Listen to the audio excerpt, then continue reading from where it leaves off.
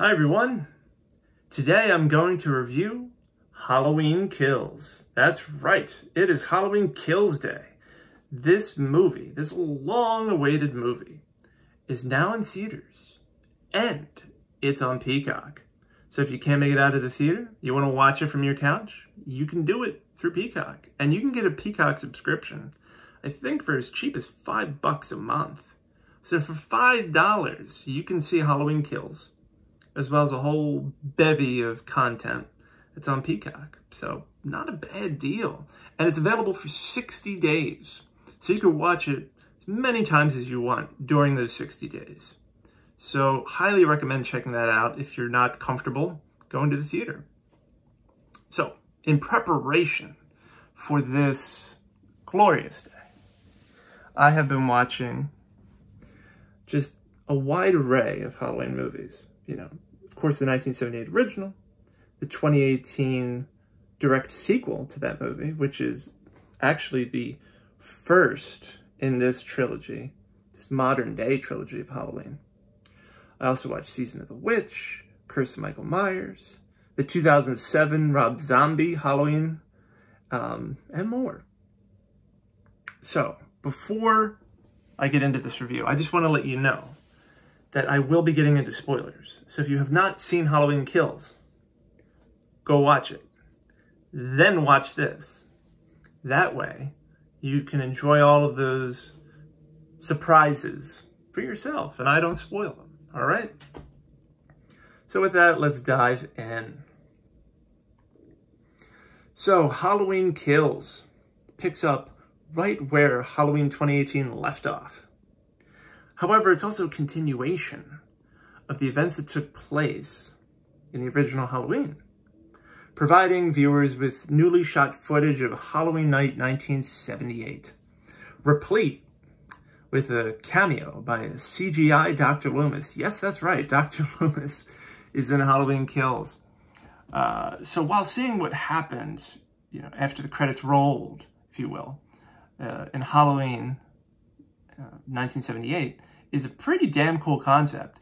The voice actor they chose to uh, you know, bring Dr. Loomis to life just isn't very good.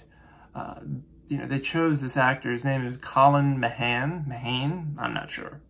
Anyway, he only has 10 credits to his name.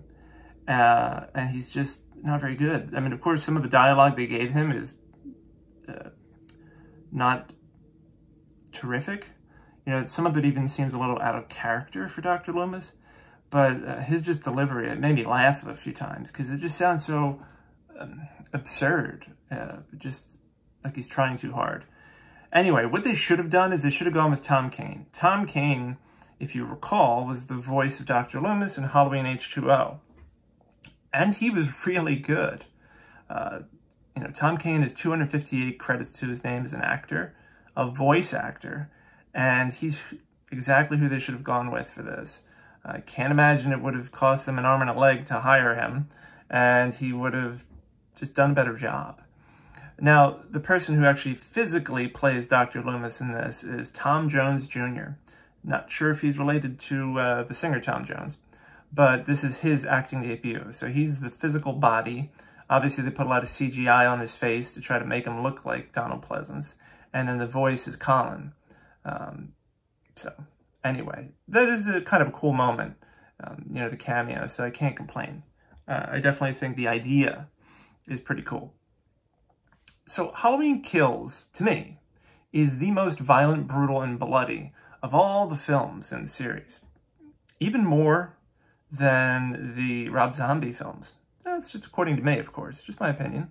Now, this doesn't bother me in the least. However, I bring it up because I know some people who like the original like it because it doesn't have uh, much blood, if any at all, and it leaves a lot to the imagination. So if that's the type of fan you are, you might not dig this. However, I understand why they took this route. You know, it's a modern audience, modern film, and, you know, I guess people are just expecting them to up the ante from the first uh, one in 2018. And the one in 2018 was, you know, there were some brutal, brutal deaths in that. This movie takes it up like way more. So just keep that in mind. Actually, there were some epic deaths in this movie too, including one involving a fluorescent light tube. That is pretty gnarly. Yeah, I uh, was bracing myself for that one because you, you, see it coming and you're like, oh no, this is going to be terrible. Uh, and it was. Uh, but, you know, definitely a fun time nevertheless. Now, here's a random thing I want to point out.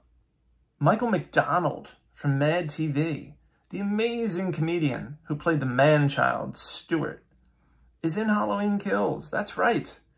Uh, I haven't seen him probably since Mad TV.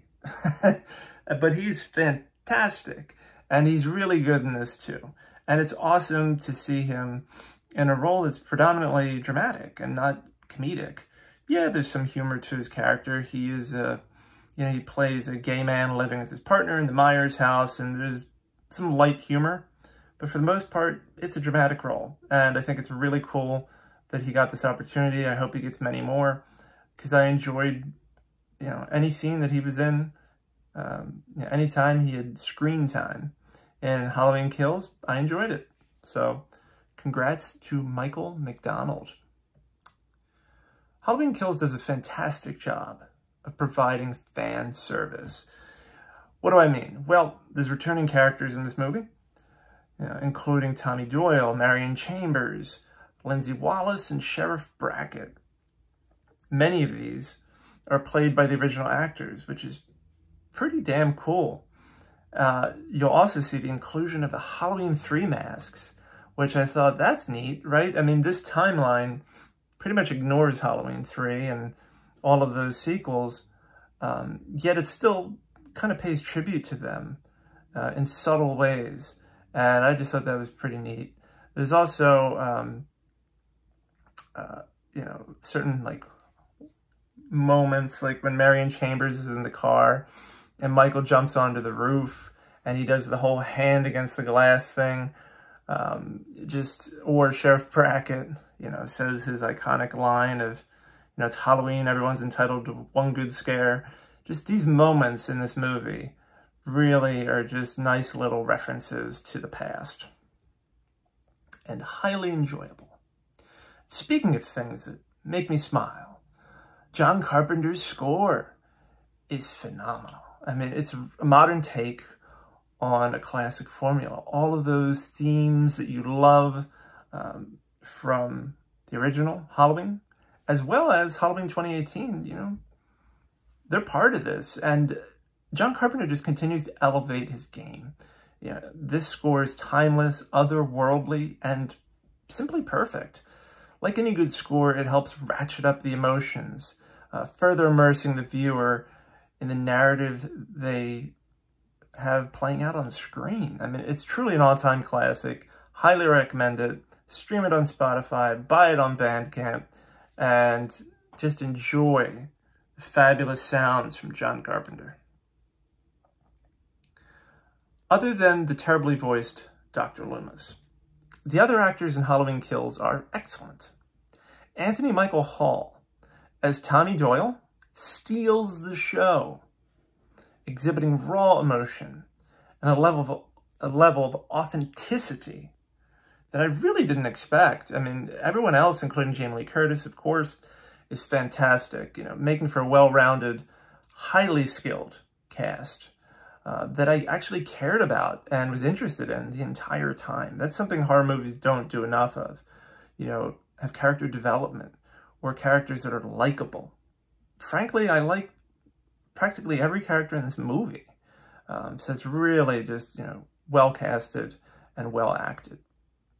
So having watched Halloween Kills twice so far, I can say that it is a formidable and well executed second part in the modern day trilogy of Halloween. That said, it very much feels like the middle of a book. What do I mean?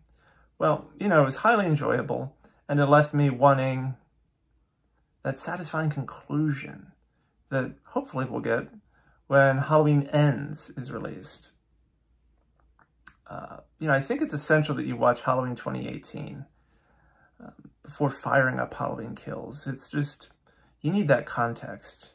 I mean, yeah, you could watch this and enjoy it for what it is, but you really should watch Halloween 2018 to get the first part of this story. And if you have watched Halloween 1978, as well as its sequels, even better, because then you'll get all these references, like the masks and all of these other things. You know, Halloween Kills is a fun time. It lived up to my expectations and delivered a few unexpected yet delightful surprises. I hope you enjoyed as much as I did. And thanks for tuning in. Happy Halloween, everyone.